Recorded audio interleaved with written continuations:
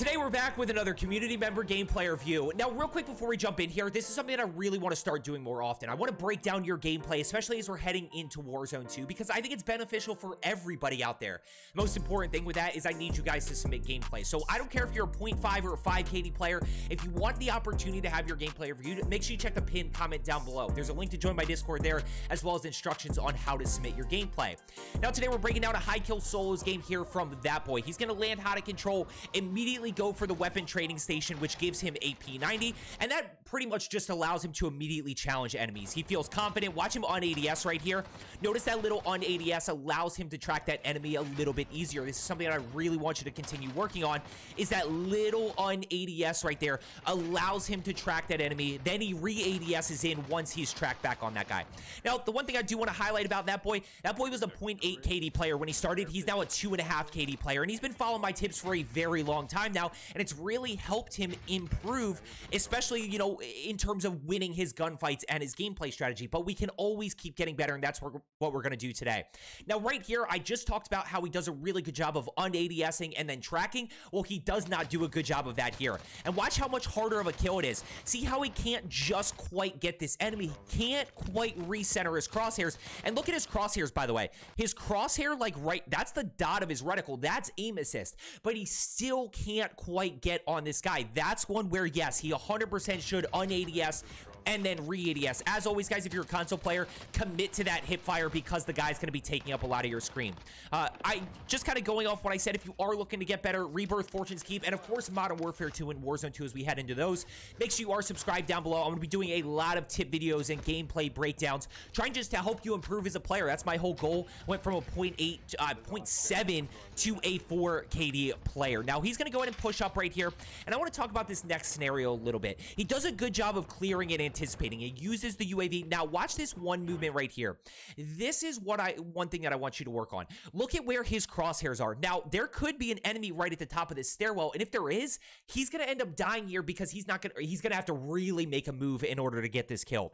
So, I want him to be centering around all of these corners, especially with anticipation. It doesn't take a whole lot to expect an enemy to be right there to be right in this back corner. Like, notice he's caught with his crosshairs not out right here. And if there's a guy in this corner, there's not a whole lot he can do. So all that is is timing. Once again, if he just centered a little bit higher, he'd be okay. That second one was better. That one's a little bit better. And now watch this next play because this is exactly what I'm talking about. He doesn't anticipate with intent here, which is why he gets caught in a bad spot. As he turns this corner, he has his crosshairs out, but he's not actually expecting anybody to be here, even though he does kind of get an audio cue that there's somebody in the stairs.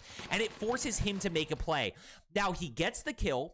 He is a little bit concerned about other people around, which I probably would have looted that guy, but he does not loot that guy. So all of a sudden, we look at this next scenario where he's going to loot that. He's going to get to this guy right here. And all of these things add up to him going down, which, by the way, he's going to drop a very high kill game here. So it's not the end all, eh, you know, it's not the worst scenario, but because of of how this whole situation plays out. That's why he gets caught in a bad spot. If he doesn't take a ton of damage right here, he can then challenge that enemy. If he loots that guy for plates real quick, then he's in a better spot to be able to finesse this guy. And by the way, when it comes to that boy, you know, he's a two and a half KD player. He executes really well when he catches this enemy and gets caught in a bad spot, my play is either right or left. I'd probably go left here. I'd probably push behind this door and set up the reach out. First step of a reach out is to break the line of sight so that it keeps your enemy guessing. Step number two is going to be basically to slide cancel or jump peek that so that you can break that camera, creating that window to get the down. So he ends up just trying to get away here. He gets caught in a little bit of a weird scenario, and that guy makes a good play. You can see how quick he reacts, and he hits really good shots here with the Armaguerra. But technically speaking in this moment, you know, this guy has about a plate to a plate and a half advantage. It's a winnable gunfight. He just, he, there's not a whole lot he can do. Besides, he probably could have set up the reach out. Now he's back in. He's going to go back into control. Like I said, guys, if you haven't already, make sure you hit that subscribe button down below. And, you know, if you wouldn't mind hitting that thumbs up button, that would mean a lot. If you you know, if you find this video at all helpful. That just helps the video a ton. So he's going to go in. He's got dots over to the right. One of the biggest things in solos is just paying attention to where enemies are shooting. But of course, he knows that there's people here in control. Really good job in this moment. This is something that a lot of you struggle with. You know, he's got the growl. He obviously is he's playing aggressive here which he always does but he hears this guy. Now instead of waiting for this guy to push him he's gonna push through and then it's they kind of collided so they both have to make a move. He's able to hit high damage areas right there chest shots headshots he's able to win that gunfight and now he's got the armaguerra now he's in a really good spot. He's got plates four kills 34 other people still alive. He knows they're shooting over here. Good shots right there.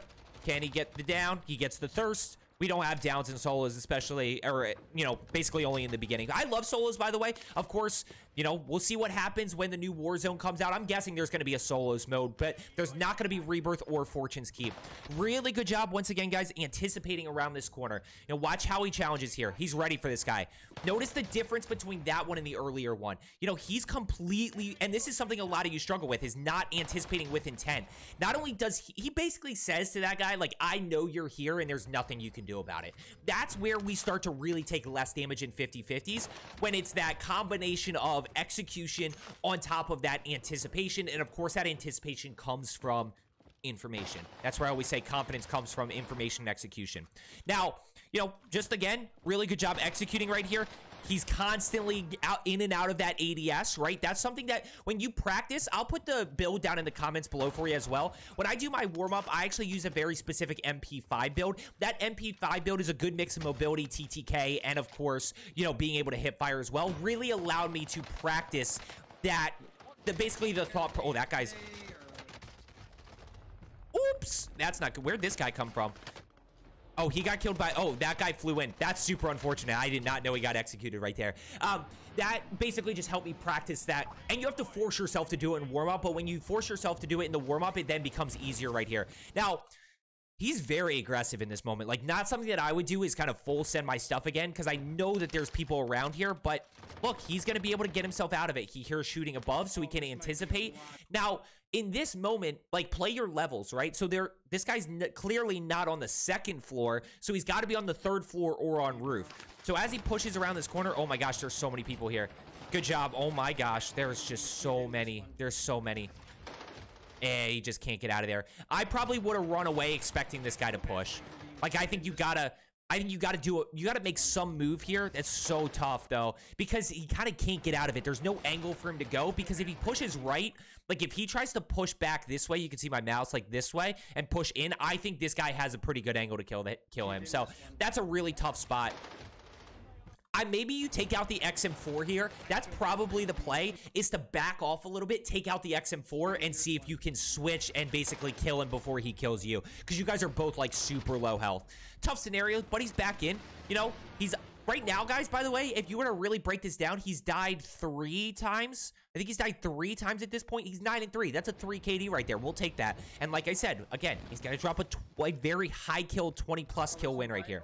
So he's going to go in and keep pushing. Back on. Still playing aggressive. Look, that is something that is something that is tough to to take out of a player. There are certain times where you do need to slow down and just regain a little bit, especially in, in, solos, right? Because in solos, you can, especially in any game mode, really, you can go on a good shots right there. You can go on a run at any point in time. You can easily knock off four, five, six, seven kills, and all of a sudden you really put a good game together, even if you've died a few times in the beginning. But that's only possible if you are staying alive. I think the other day I had a game where I started off like five and five, and maybe I finished like 15 and five or or something like that, and I just you know, just started executing, getting that momentum back, which is something we can really talk about a little bit. Now, right here, he definitely needs to probably rotate out. This is a situation I really want to talk about. You know, he sees this guy right here. He does a really good job keeping his element of surprise because that enemy does not know that that boy's here. My issue with this play is when he pushes through, he does he anticipates the wrong way right so like he needs to anticipate this first guy he reacts but all of a sudden like that's just a minor thing where he gets away with it here but he may not get away with it in another scenario he's just got to anticipate that guy left and now he's gonna go ahead there's another one back here which i was surprised because i thought the other guy had died but he sees the sniper right here. As soon as you see the sniper, guys, you gotta use movement. I don't care if you jump, if you strafe, but like you can, you gotta make it hard for him to hit that headshot. He's just waiting. This guy's caught out in the open, so he's got to move. Like, he's got to move at some point. There's nowhere that he can go unless he pushes up to the truck. But even then, that boy still has that advantage. He's going to grab the Marco right here. I don't know what just happened. He just switched a lot of guns. Right here, just misses some shots, but he's able to get that kill. All of a sudden, he's got 13 kills, right? So we're really piecing this game together. And when you look at your overall KD, I don't tell you to look at your KD. Really good play right here, by the way. Has to make a move. Just has to make a move. He does the jump move to the right, the jump straight. That changes your vertical and your horizontal. If the guy really tracks you horizontal-wise, he, of course, is only hitting your toes. And it just makes you a really hard target to hit. Also increases your aim assist. So, shoot a little body right there. They've been going at it for a while now. So, um, I don't remember what I was saying before this. I don't remember. Oh, don't focus on your overall KD. Focus on your weekly KD. You know, just focus on improving. Focus on your season KD. Good shot right there with the sniper. Because look, once you get to a certain point, it's going to be hard to move your your overall KD just because of how many kills that you have. So while you can focus on that, you know, if you are a 0.8 KD overall, but weekly or even for the season, you're playing at a 1.2 or 1.3, like that's still a lot of improvement right there. And we need to take note of that. 16 kills, 19 other people still alive. Now, in this moment right here, there's a lot of different ways that you can go. Of course, one thing that I would recommend, guys, is, is grab grabbing bounty contracts, especially in solos where you're only, or, you know, even as you're getting more aggressive and you're only responsible for your cash flow because your teammates aren't around you, like you need to be grabbing contracts that gives you information, of course, gives you contract bonus as well, gives you the cash. Now, in this moment, not really totally sure where anybody is. We know somebody's over at control, but not exactly sure where. I'm just going to simply go act on this piece of information right here. We've got a dot on our level in Grandma's house. That is concrete. We know he's over there. We know there's at least two enemies over there at the moment moment, assuming they don't kill each other. So I'm just going to go push that way and act on that information as opposed to like trying to find the guy at control. Of course, in prison, we can use audio. Don't rely on footsteps. Don't rely on like super it, directional audio is not super reliable is what I'm trying to say. So use it to understand that somebody's around you, but don't think like because you hear it left and above you that the guy's actually left and above you. Audio is just, it's chalked. It's just not good. This is a really good example. Once again, acting on minimap pings. He hears the shooting happening. What do you know? This is exactly what I tell you all the time. When you hear shooting, it's going to mean that there are multiple enemies there. It's not just one. So you get the dot in the lobby, but sure enough, there's the other dot right there. And what do we run into? This is solos, baby. We've got four people in prison right now. That boy's going to take out one. He's going to immediately challenge the second one.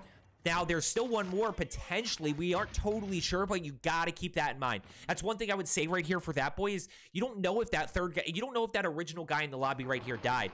Now, the other thing I'll say is he gets caught a little bit right here, but he does a really good job of making a move, right? They're both sliding at each other, so he's going to jump to the left and kind of track that enemy, all of a sudden now he's got a slight advantage here. This guy's broken, that boy's not. He's able to win that gunfight. And that's where we always talk about using movement to take less damage aim is what allows you to give you a faster TTK and really, you know, just allows you to win the gunfight, allows you to take less damage. But movement is really when we start to focus on, okay, how do we take less damage so that we can stay in fight, so that we can keep challenging, so that we can deal with that third party that's coming in solos. You know, it's really about giving yourself the fastest TTK and using basic movement, stri uh, strafing left and right, jumping a little bit, you know, maybe a drop shot here or there.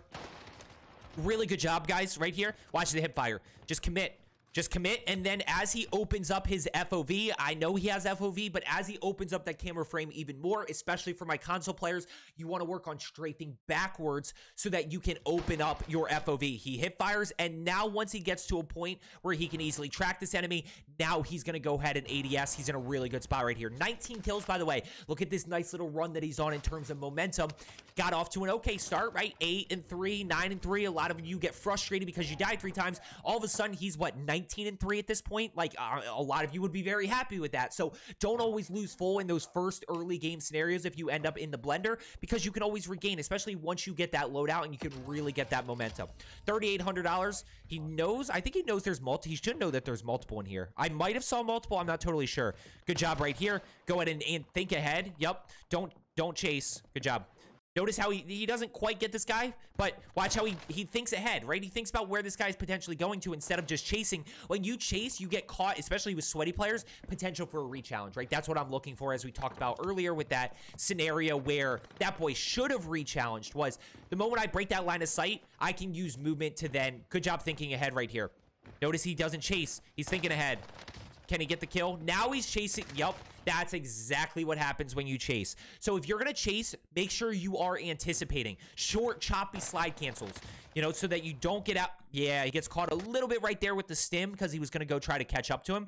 But, and, and look, he wins that gunfight. The only thing that I take note of here is if there's a third party around, if we're playing trios, quads, or even, you know, duos, he can't immediately challenge that next enemy without having to perfectly execute. So just something we want to keep in mind there. Uh, he missed the UAV, which I would love to see him grab, right? Allows him to make that quick decision and understand how many people are around, where's the hot area of the map to keep dropping high, the high kill games and keep that momentum going. Is there a third party around me? You, you know, all of those things that really factor in. Also grab big game bounty. Really good job right there. I don't quote me on this. I don't fully understand big game bounties. I think that there's only one big game bounty live at a time. So, you know, Big Game Bounty goes to the kill leader. I'm guessing that boy's the kill leader here. But because he grabs Big Game Bounty, I don't think somebody can then grab it on you. I don't fully understand how that works. I'm going to be totally honest with you. But grab Big Game Bounties. It's, especially because if you get the kill, not only do you get cash, you get information as well. Let's see what he can find here. Doesn't have a ton of information. Oh, give it to me, baby. Good headshot right there. Good headshot. Makes a little bit of an adjustment right there. That's that's uh, $6,100. So immediately I notice, okay, let's go buy let's go buy a UAV. You know, biggest thing, another big thing that I want you to work on is not only getting cash but spending cash, grabbing contracts, making sure you're looting enemies to grab their cash. But once you have enough, you got to be spending it. A lot of you are really improving on getting that cash flow, making sure you have it, but you're not actually spending it, which means good shot. That guy was clueless. I mean, he wasn't clueless. He was shooting at somebody else. Go, Gate. Let's go. Oh, baby. The back-to-back -back snipes. He's a good sniper, by the way. He is. 24 kills. He's got eight other. Has he not grabbed loadout? I guess he hasn't. I guess he is still rocking what other people were using. Um, just just make sure you're spending cash. You know, especially in duos, trios, and quads. Be the team leader. You know, don't be rude about it, but you know, ask your teammates for cash. Ask your teammates if they can buy a UAV. Make sure they are spending that money for you because it really helps the whole entire team. It, it's not something that just helps one person. You know, it really helps everybody. He's got a precision. I'm okay with this precision right here. Usually I recommend not using a precision unless you get it down. But in this case, I think water tower is a great spot to use a precision because they have to jump. The only thing I would recommend is when he sees these guys flying in, like he sees one, he sees the second, like these guys probably aren't going to move. So wait till you get to a position where you can actually challenge that enemy. Like he, he precisions, which is going to force that guy to jump off, which is a great thing, except the guy jumps and that boy's not, he can't even, he can't one shot this guy even if he wanted to because of the range. So get to a spot where you can challenge and then call it in and then you just kind of wait. Oh, you got a kill right there. Why does that always happen to me? It always happens. I always tell you guys not to do that because very rarely does it actually work out where you get a kill. And then sure enough, every single time that I say that, that's exactly how it plays out. Now, most important thing to note right here, when you look at how many enemies are left, right? He's got 25 kills, by the way. Really good game. He's got five other enemies. So he's number six. He's got five other enemies. We have three of them on radar, which means we're missing two, right? That's just basic math that you need to be doing throughout the game, or especially an end game of like, okay, I know there's three people. I know exactly where those are, but I'm still missing two players who went down for the operation scan, and we need to essentially find them. There's one enemy that's on the operation scan. So, you know, that's just, especially in trios and quads, trying to keep track of where teams are, like full teams, right? I, okay, two teams are fighting in Two teams are fighting in decon. One guy was in prison earlier. Once he was in prison. Okay, that's exactly where everybody is. Because that's going to help you make that decision about where you want to be positioned. It's going to keep in mind that third party, especially as circle closes. So that's one of the biggest takeaways from today's video that I want you to get is keep in mind where a lot of enemies are. And also don't forget information. You know, he does a good job here. Unfortunately, that's outside Kar98 range the one shot range. Yo, he does a good job here of remembering where people are. Now, he's in a really good spot right here. He's got power position, back up. Three things. You got to be in circle, you need cover, and then you need power position. So right here, he's in a really good spot because the circle's most likely to pull somewhere this way, and this team is just kind of stuck down the hill. So he's got his high ground, but the most important thing is he has his cover. Now he's going to give up his high ground to go push this guy, which I'm okay with. Like I said, that boy is an aggressive player. You don't have to... Oh, I didn't realize he didn't have plates either. You don't have to make this play. You can simply play your positioning, play a little bit slower, make sure we clutch the dub. By the way, we've got three other enemies left at this point, so he knows one's ahead of him. He knows one's over to his left over at the shore. So now we just got to find one more enemy. He's got to find this one first, but he knows there's two over to his... Well, he knows there's at least one over to his left. Never assume it's two. Good shots right there. Little bit of movement. Little bit of movement. There's the plate. He should grab the... He should grab that. He should loot that just to see if he can get an extra plate. He should loot the one to his left just to see if he can get a plate. That's where I talk about slow down to speed up, right? Just just slowing down a touch, just just looting those two crates. If you get two plates, it's only going to help you that much more. And the last thing you would want to is to lose a game because you you just didn't have plates, right? When we had the opportunity to get them. Yeah, you see that guy. Boom, hit it. Give it to me. Boom, hit it. Okay. That's okay. Good reposition. Great reposition right there. And and notice that boy anticipates, right? He anticipates this guy to be in the same spot. And that guy's looking through the scope to see, okay, is that boy going to re-challenge? The moment that boy peeks through this window, that guy has no chance. That guy, th that guy's not going to have a chance to get that shot off before that boy does. So then that boy just has to execute. 27 kills, 1v1 situation for the dub. Doesn't exactly know where he is. Doesn't exactly know where he is. Not 100% sure, although, like, I'm kind of with him that I would anticipate him being over to the right, but never assume. Did he hear him? Yeah, he heard him. Yep, good job here. Yep, really good job there. He's not going to chase. He's going to think ahead. Right, he hears him pushing up the stairs, so instead of chasing right here, he's going to think ahead. Little bit of hip fire. There's the ADS, but still very close to losing that gunfight. But we will take the dub. Almost doesn't count in this game as long as you win the gunfight. 28 kills. That's a nice little dub right there. I hope you found today's video helpful. As I always say, let's get better today, and I will see you tomorrow.